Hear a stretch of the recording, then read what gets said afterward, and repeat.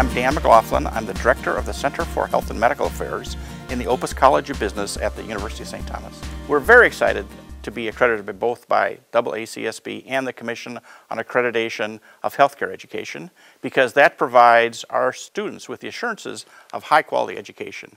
I think both the MBA program and healthcare executives put together is a unique feature of St. Thomas. And these accreditations assure our students that we are teaching the most cur current curriculum, we have the highest quality instructors, and that the skills that they learn in these programs will allow them to succeed in their careers in healthcare management.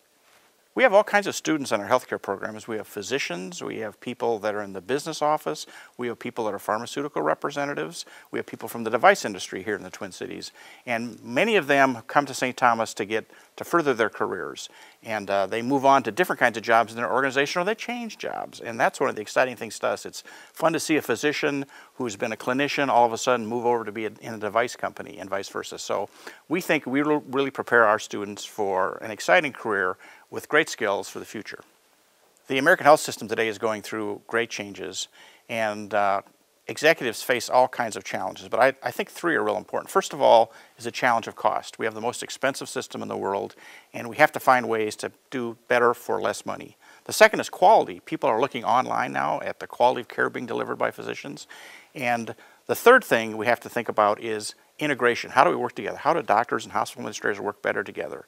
So the courses that we do at St. Thomas and some of the books that I've written help further that agenda so that people can do a better job of reducing the cost in the systems, increasing the quality, and having better ways to work with each other. Well, I have three books that are now um, available to healthcare executives. The first is Healthcare Operations Management, which is a textbook. That book is really about the nitty gritty of how you actually run an organization and some of the sophisticated tools that advanced organizations are using, such as Lean and Six Sigma, simulation, informatics, the best ways to run your organization. Then I have another book on execution, which is how do you take the challenge today and make it into an effective project that gets done. That's called Make It Happen.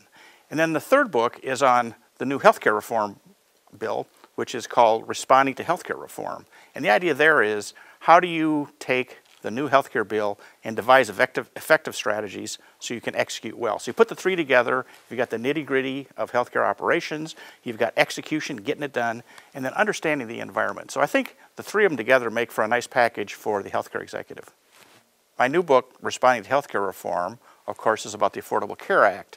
And one of the challenges that healthcare executives have is they get swayed a little bit by the popular press and the focus on things like the individual mandate. But when you read the whole law, which by the way I have multiple times, um, you find out that it has many other hidden gems, hidden challenges. And so this book really talks about what are the important things healthcare executives have to learn in the delivery system. And it uses a technique called scenario analysis, which says, what are some possible scenarios you might see in the next five years? And then you as an executive can go back and adjust your strategy to deal with those scenarios. So I think it's going to be very useful to the healthcare executive to get beyond the headlines, to get down into what's in the Affordable Care Act and what they need to do about it. The University of St. Thomas, ahead of the curve.